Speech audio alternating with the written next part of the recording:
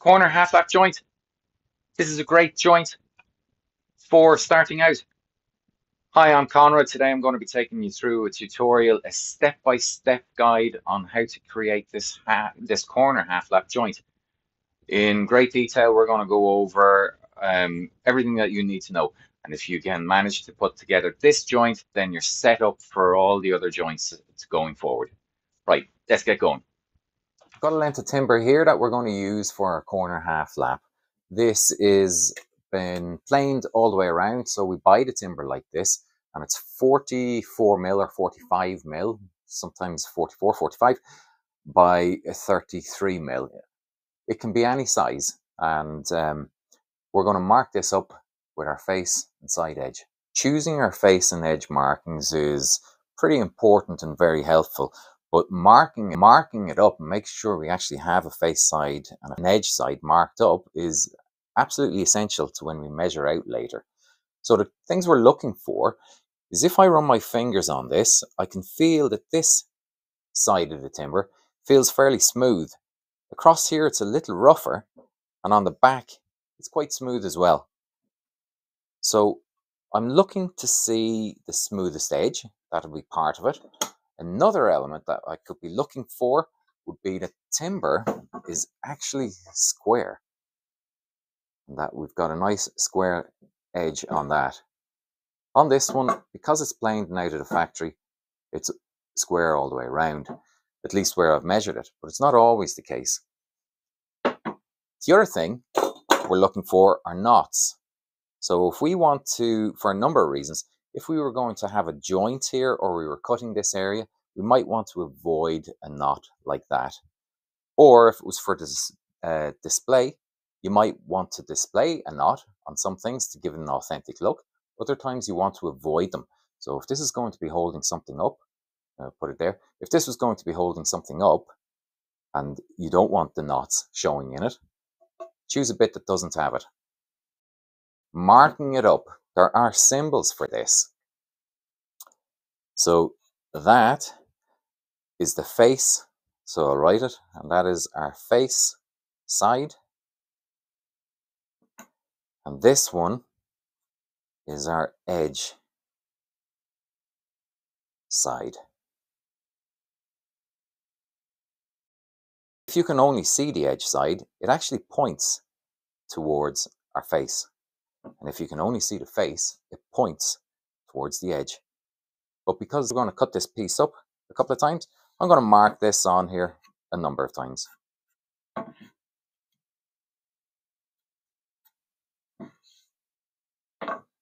We only need two short lengths for this.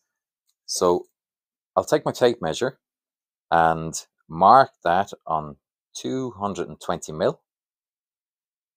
I'm going to put a little X the side of that. I'm going to take the combination square and put my pencil on my 220 mil mark. I'm going to put the body of the combination square up against my edge. Now it should always be either on the face or the edge side. So on this one, it's going to be on our edge side. And we're going to do a line down on that one. We can flip it up here, flip it up. And we'll match up that line across to there. Now as we turn it over, our edge side is over here. So the body must be on that edge side. And we'll continue to line that up through there. Flip it again. And this side, when we look on both sides of our ruler here, I'm able to see the line on both sides and we'll run that through there. So we have a line all the way around our timber that we cut on.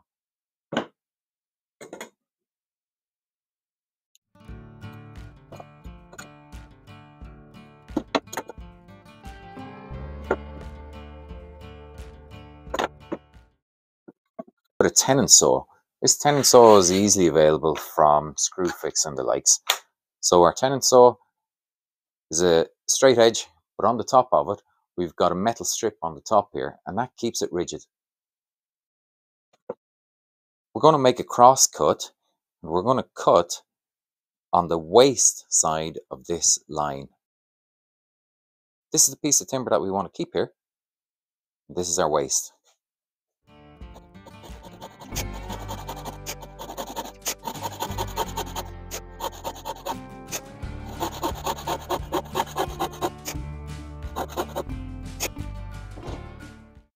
I'm using a bench hook here on top of my bench.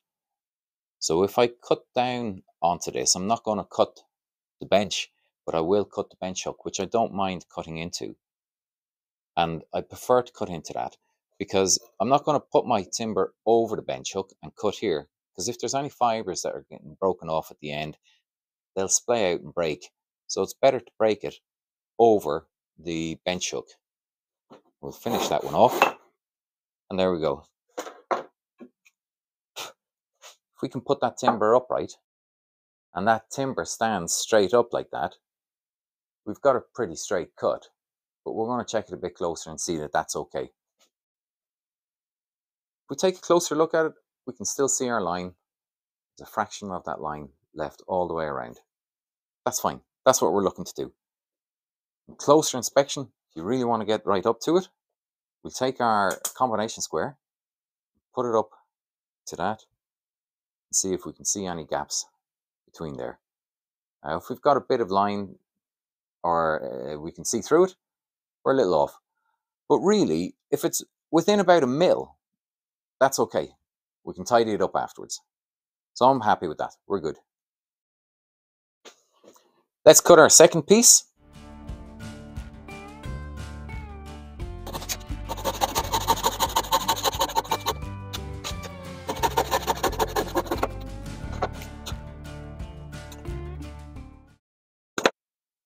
Now we have our two pieces, we're going to label them up. So on our pieces, I want my faces facing up and my edges in. I'm going to set it up like this here in this corner. So I'm going to call this one our right. We'll label that one. And we'll label this one our left. That's it. Put your name on it as well, because if you're doing studying this and you're in a workshop, you're going to mix this up with a whole lot of other people. That tends to happen to me or my students. So let's avoid that. Put my name on it. Next step, we're going to measure where we're going to put our next cuts. And that's the width of the timber. So this one's going to go on top. I want to keep that on top. So I'm going to start to mark off the waste that's going to get cut away. So if this bottom bit gets cut away, this top bit will stay. If that top bit stays, then the top bit of this goes.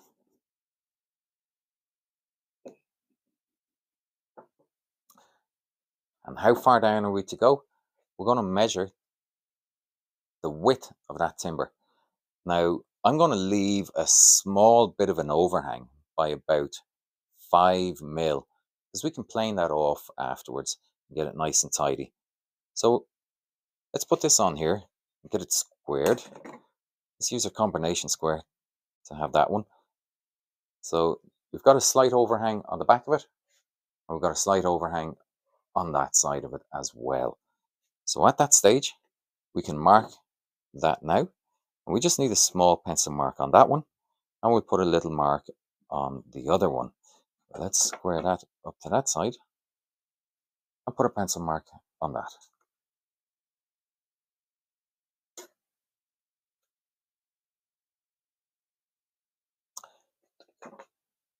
Square these lines all the way around. There's our edge. That's on that one. There's our face. Mark that one out.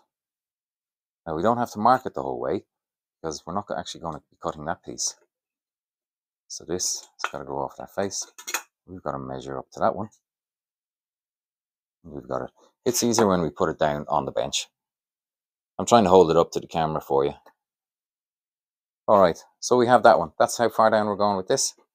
Let's remember to put that in the right place. That's the right one. Let's turn that so the body's on our edge. Mark that over. A little more than halfway for that side.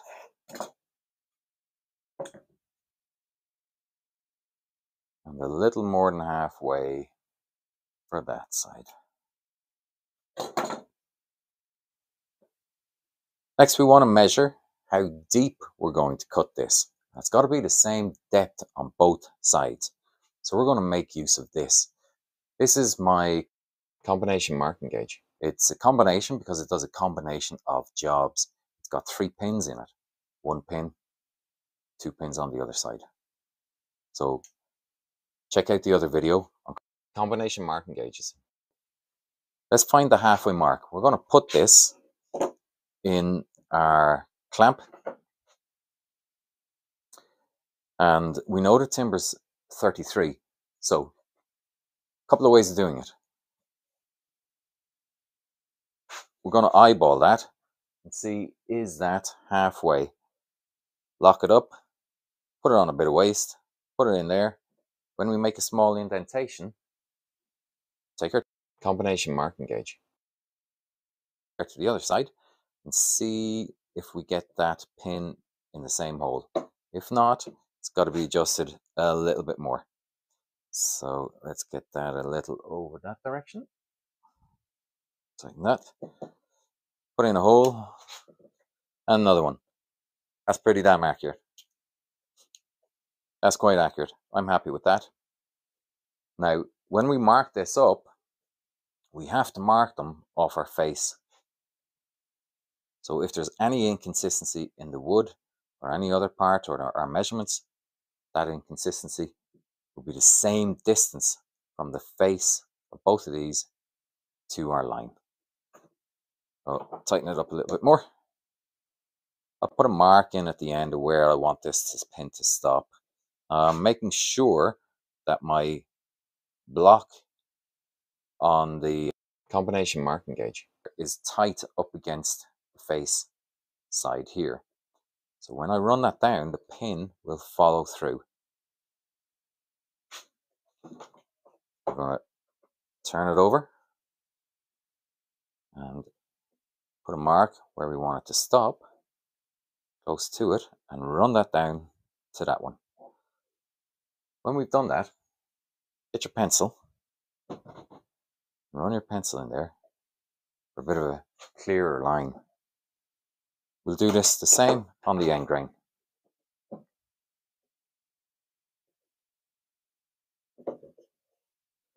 Going to run it through a few times. Take your pencil, mark that round, and mark this one as well. So we've got our line come through. At this stage, let's hash out our waste. We've already been identifying our waste, but we want to be clear. That's one done.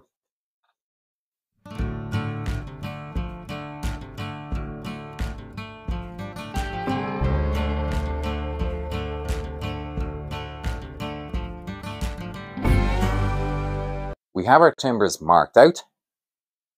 We're going to measure twice and cut once. Double check this.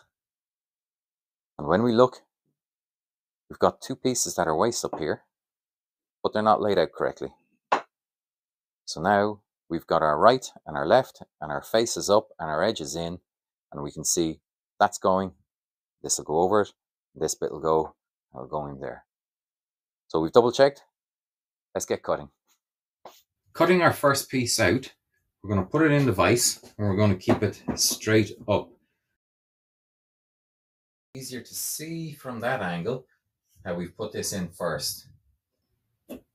We're going to cut on the waste side of the line and we're going to get as close as we can to that line but we don't we want to still leave some of that line so we do want to get quite close to that but if you cut a little less off you can always take a bit more off later. If you cut too much off, you won't be able to add it back on. So allow yourself a little extra and clean it up with a chisel afterwards.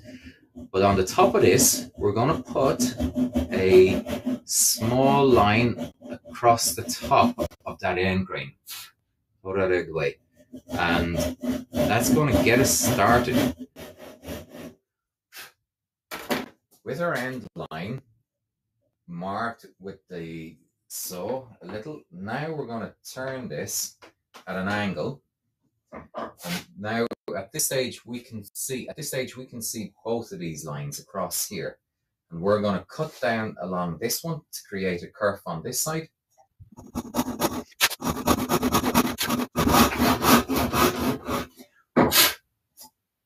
Cut down to our line. We're going to turn that timber round, keeping it at an angle, and we're going to cut down a kerf. A kerf is the piece that's cut out. We're going to cut down this edge.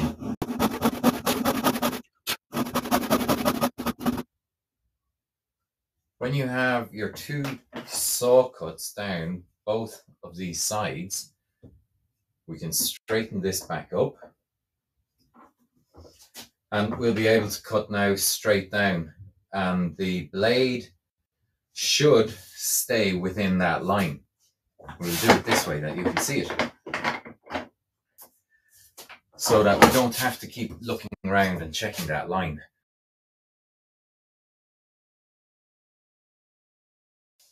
As you've cut down these lines, if you're not that confident on it yet and you want something to stop you when you get to that edge, just put extra pieces of timber in there, a couple of pieces of scrap to your line, because then when you cut down, you'll be able to stop just at that line.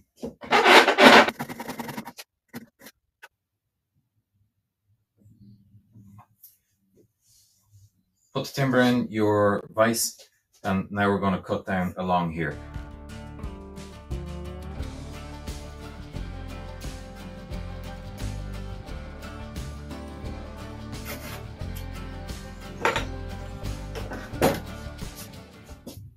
We've cut out our waste piece now and this is called the shoulder and this is called the cheek. So we've cut those out. We're going to repeat the process for our second piece.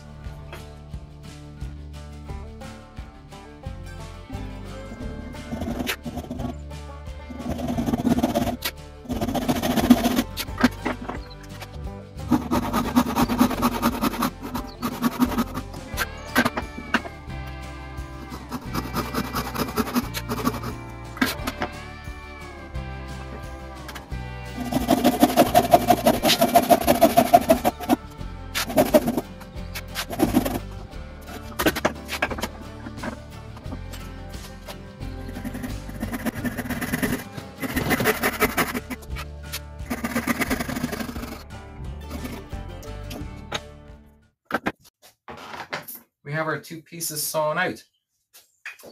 We're going to lay them out, uh, right and left. I can see that, and we're going to put them together. Now it's a rough cut, and we can clean these up. But we have the very basics of a corner half lap. Now it can also be a lengthening half lap, so we can put them together like that. Now, I'm using an inexpensive chisel here. i have chosen one as wide as possible, and when we're starting out, we don't want to spend a whole lot of money on these. This came from a chisel set that's about uh, 30 pounds. Now, when you get into your hand tools and you want to spend more money, you could use a specialist plane on this, which is a router plane, and that'll get you a perfect finish on here. Well, almost perfect, as good as you're able to use it. And it, it's very nice. But when you're a complete beginner and you're starting out, this is affordable and this is quite good because if you're going to get within about, uh, with practice, about a mil of where you should be, then that's a good uh, amount of allowance, really. So it's a pretty good one. And if you're within five mil, well, that's great. You just need a bit more practice and a bit more progress.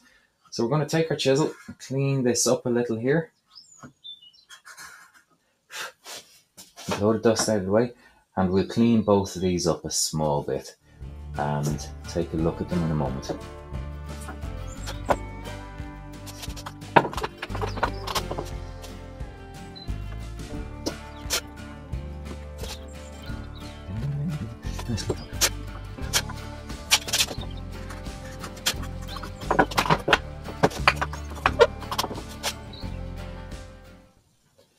Right in the corner here, after we've sawn, we often get a bit of fibers sticking up in the way and we want to cut those out. So we're going to take our chisel here, hold it quite low uh, by the neck, thumb and finger around there by the neck and you get a good grip on that. And we're going to score the timber across this way and then back this way. And that will stop getting any breakout from here. So we're going to score it across here, score it across there, and then we'll clean that out.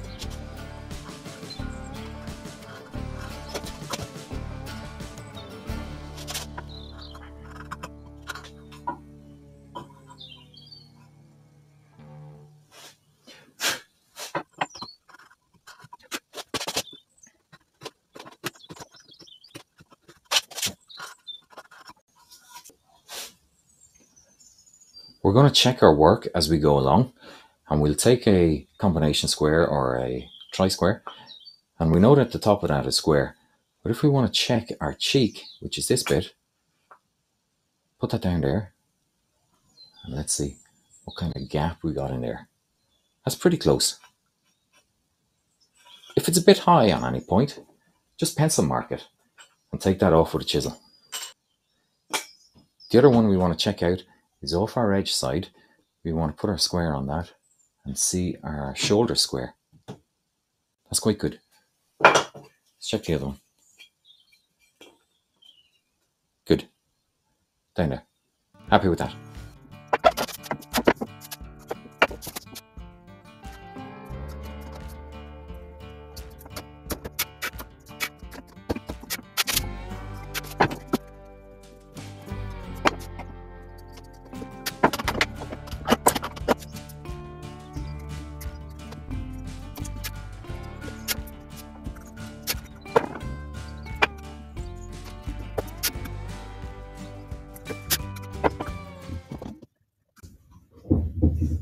Because we're using inexpensive tools, make use of everything that you've got. If you've got a bit of sandpaper, don't say we can't use a bit of sandpaper on the end of this. So when you're very close and you're getting your faces flush, then at that stage, get out the sandpaper and get it down on that last bit and you can clean out those pieces. And that's quite flush. Let's get a close look. Okay. Now that we've cut our two half laps, we can put them together and we've got a corner half lap.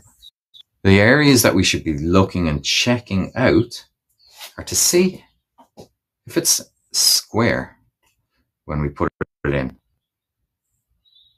And that looks fairly square. The other one, well, let me get that back in there. This one isn't glued, but before you glue it, well, you'd clamp it and put it in place. So that's quite square on that one. 90 degree angle. The other area that we're going to be looking at is how flush it is along here. I could still do with a little tidying up there. And on this side, when you run your hand on it, that feels quite smooth. But if this was a final piece and we were actually going to be putting this somewhere, it would get a plane up afterwards and a sand, and it would take that out. And then these end bits, they would get planed off as well. And that's the easiest way to remove them. If you end up doing exactly on the timber, sometimes it's a bit too short. It's always better to have a little bit more and be able to cut it off. So there we have a corner half lap, which is also a lengthening half lap. And where is this typically used? You get it a lot on wall plates, on buildings, on structures. You get it um, on very simple basic boxes if you need to, many places. But as a beginner's joint, this is an ideal place to start.